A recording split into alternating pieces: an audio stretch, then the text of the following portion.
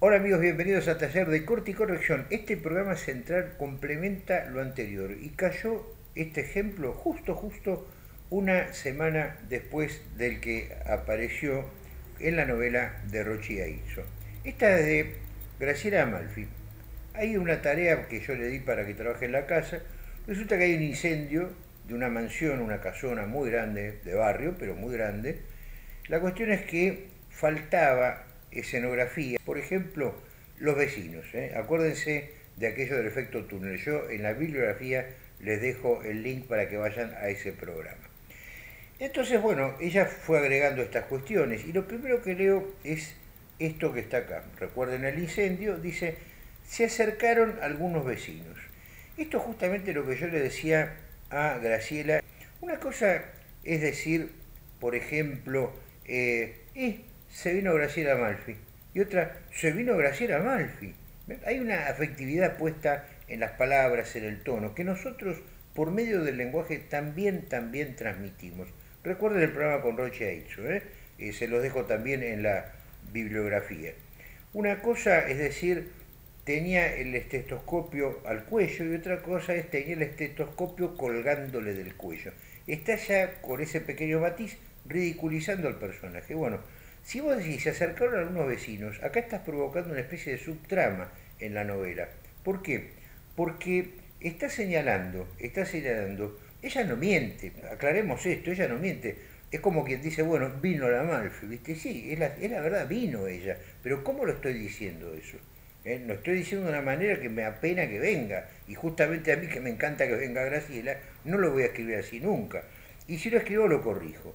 Entonces, como dice, se acercaron algunos vecinos, Graciela no miente, es lo que ve en la cabeza del escritor, se ve algunos vecinos acercándose, pero la manera en que está expresado, fíjense, dice, se acercaron algunos vecinos.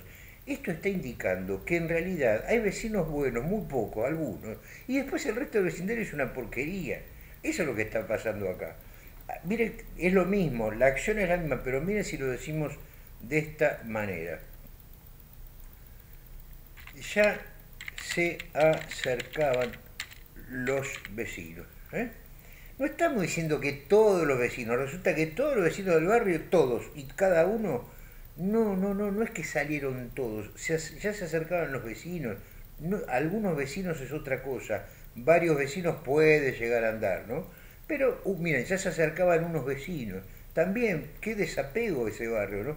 Entonces, si vos decís los vecinos, ¿eh? estás viendo que se acerca gente, ¿eh? se acerca la gente. Cuando yo digo, y a la gente le gusta el, canal Taller de Corte y Corrección, no estoy diciendo los 7 mil millones de personas que somos en el mundo. Ojalá que tuviéramos tantos suscriptores, ¿no es cierto?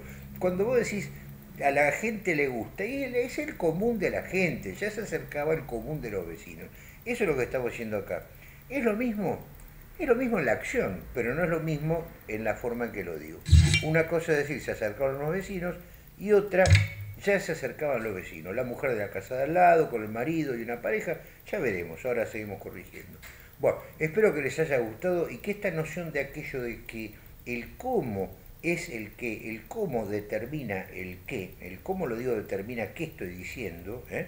y no al revés, como pasa en el arte conceptual, por ejemplo, en arte conceptual, claramente, nosotros, digamos, eh, privilegiamos en el arte conceptual, por llamarlo de alguna manera esa porquería, estamos, digamos, em, privilegiando el contenido sobre la forma en que lo hago. ¿eh?